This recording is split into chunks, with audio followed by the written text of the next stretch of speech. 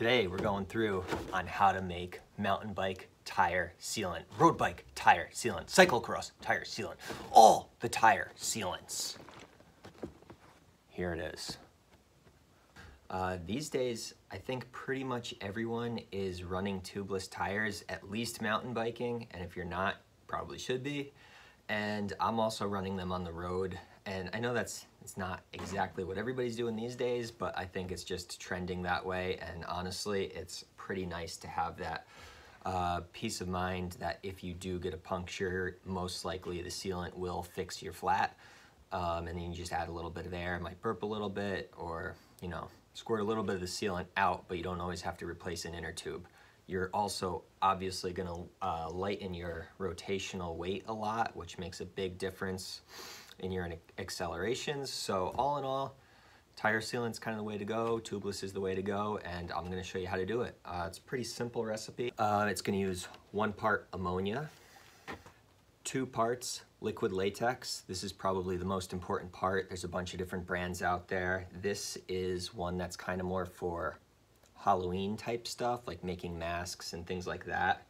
Um, but there's also ones you can get at craft stores, um, different things.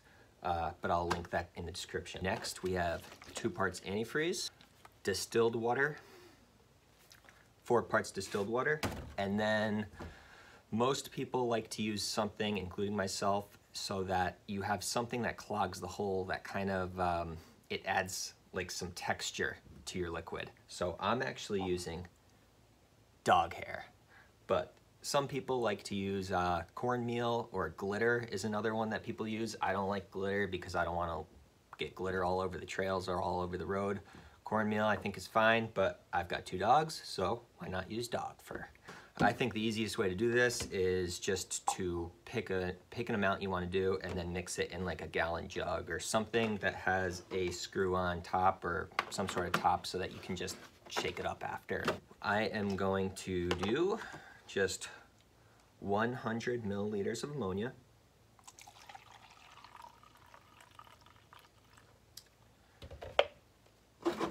Pour it in. A funnel would be nice, but I don't have one of those right here, so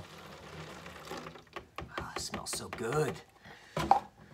Two parts liquid latex, so 200 milliliters of liquid latex. Probably should have done the liquid latex first so that when I measure it out, it's actually, um, you know, comes out of my measuring container. So I would recommend doing this first actually.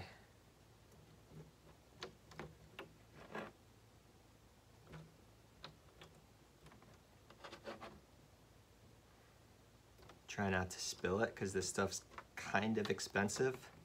Um, I got this bottle on Amazon. I think it was about 12 bucks for a pint.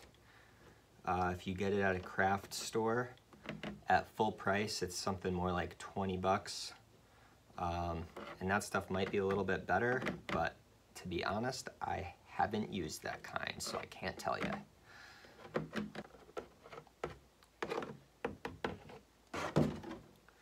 Okay, next, gotta get my antifreeze, two parts antifreeze.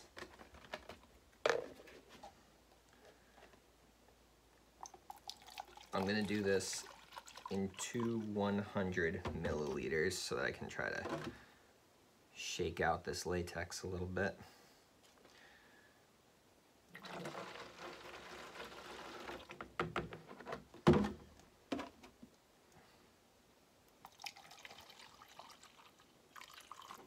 Look at that, look at it. Yeah, just trying to trying to get it all out.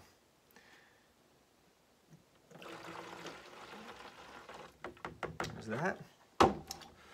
Four parts distilled water. And again, I'm gonna do this in a couple, probably do it in two times, two 200 milliliters for me. And the liquid latex on its own looks pretty much like the namesake for tire sealant. Stan's or something like that, you might know.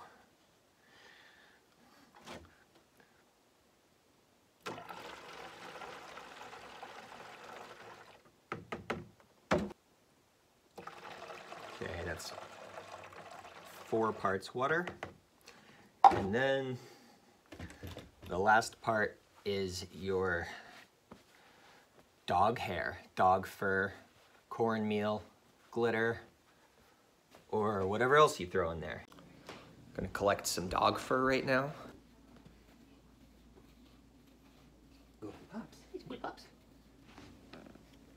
Look at that stuff. Perfect for sealing tires. And I don't have a recommended amount. I've just got a handful of dog hair, dog fur. Um, I think you'd probably want like two tablespoons or two teaspoons, yeah, two teaspoons of cornmeal if you decide to go that route. Um, but one handful. Kind of shove it in there. Get the rest of the liquid latex in, in there.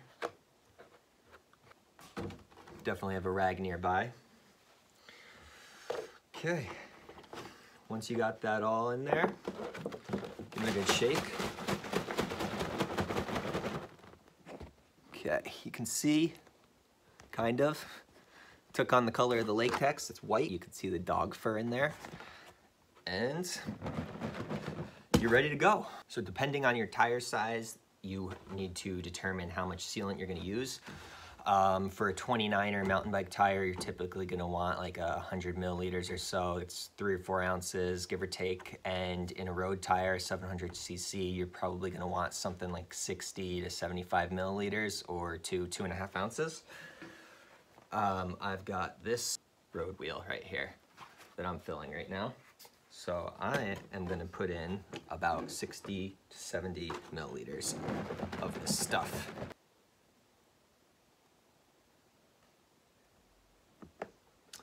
And this should stay um, liquidy and just roll around in your tire as your tire rotates. Um, and then obviously as your tire rotates, if you get a puncture, it continues to roll around until it hits that puncture, then explodes out, and hopefully the dog hair and liquid latex start to seal that before you go flat. Um, I like to put it in on the bottom, my stems up here. I like to put it down here and then seal the tire up after. This part's always kind of messy, unfortunately.